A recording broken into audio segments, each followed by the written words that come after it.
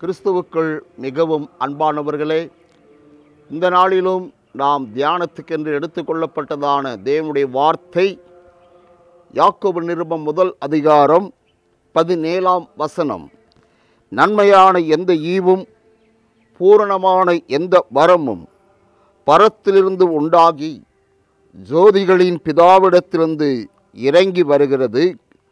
அவரிடத்தில் யாதொரு மாறுதலும் யாதொரு வேற்றுமையின் நிழலும் இல்லை என்று இங்கே நாம் எழு எழுதப்பட்டதை வாசிக்கிறோம்.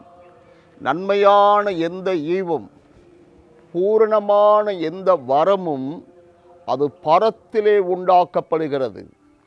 அது ஜோதிகளின் பிதாவாகிய இயேசு கிறிஸ்துவனிடத்திலிருந்து இறங்கி வருகிறது.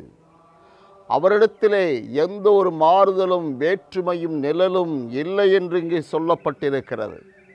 அன்பான தேவனுடைய பிள்ளைகளே அந்த நன்மையான ஈவு அந்த பூர்ணமான வரம் அந்த கிருபை அந்த பூரண வரங்கள் கர்த்தர் நமக்கு கொடுக்கிறவராக இருக்கிறார்.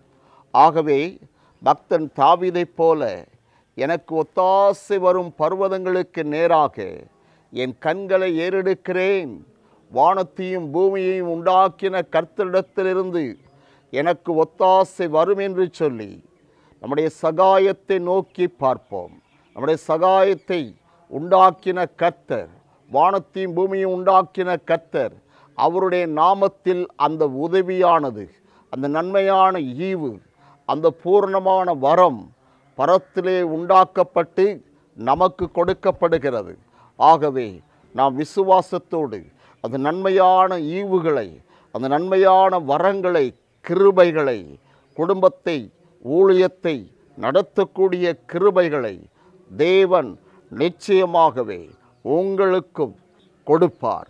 அன்பு தேவ பிள்ளைகளே கத்தர் இந்த வார்த்தையின்படி உங்களை வழிநடத்தி ஆசீர்வதிப்பாராக நாம் ஜெபம் செய்வோம். எங்கள் அன்பு தகப்பனை இந்த அருமையான இந்த காலை வேளையிலும் நீர் பேசிக்கொண்டிருக்கிற உம்முடைய வார்த்தைகளுக்காக இந்த வார்த்தைகளை தியானிக்கும்படி எங்களுக்கு கொடுத்த கிருபைகளுக்காக உமக்கு ஸ்தோத்திரம். இந்த வார்த்தைகளை கேட்கிற உம்முடைய பிள்ளைகளை இது தொடர்ந்து ஆசீர்வதியும். நன்மையான ஈவுகளினால் பூர்ணமான வரங்களினாலே நிறைத்தருளும். நீர் செய்வதற்காக ஸ்தோத்திரம். இயேசு கிறிஸ்துவின் நாமத்தில் பிதாவே. ஆமேன். ஆமேன்.